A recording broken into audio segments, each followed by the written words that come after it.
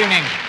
Tonight on World Forum, we are deeply privileged to have with us Karl Marx, the founder of modern socialism and author of the Communist Manifesto.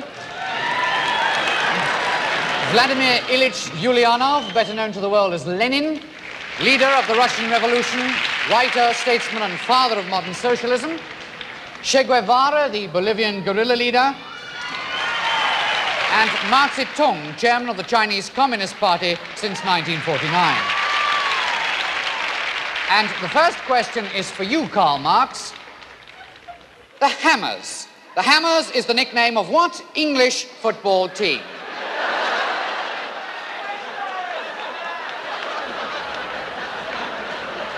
The Hammers. No? Well, bad luck, Karl. It is, in fact, West Ham United. Now, Che Guevara, Che. Coventry City last won the English Football Cup in what year?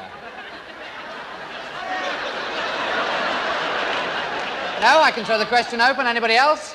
Coventry City last won the English Football Cup in what year?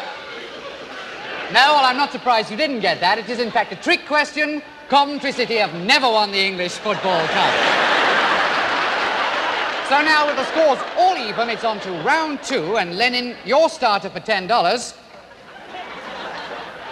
Jerry Lee Lewis has had over 17 major solid gold hits in the US of A.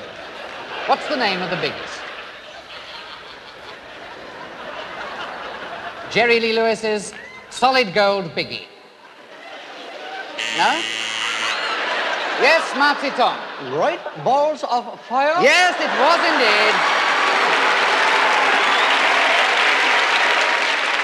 Very well challenged. Well, now we come on to our third round. Our contestant tonight is Karl Marx, and our special prize is this beautiful lounge suite. Now, Karl has elected to answer questions on workers' control of factories, so here we go with question number one. You nervous, Karl? Just a little. Well, never mind, Karl. Have a go. The development of the industrial proletariat is conditioned by what other development? Uh, the development of the industrial bourgeoisie. Good, yes, it is indeed. Well done, Karl. You're on your way to your lounge suite.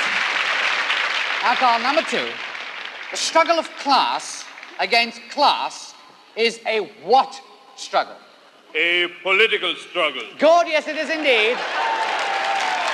Well done, Karl. One final question, and that beautiful, non materialistic lounge suite will be yours. All ready, Karl? You're a brave man. Your final question. Who won the English Football Cup in 1949? Uh, the workers controlled the means of production. The, the struggle of the urban proletariat. Uh, no, it was Wolverhampton Wanderers who beat Leicester 3 1. Oh, shit. Get out of here. Well, no one leaves this show empty handed, so we're going to cut off his hands. well, now it's talent spotting time, ladies and gentlemen, and please see if you can spot any talent in our next competitors. Will you please give a very big hand and a warm welcome to Carl Weetabix and Rita?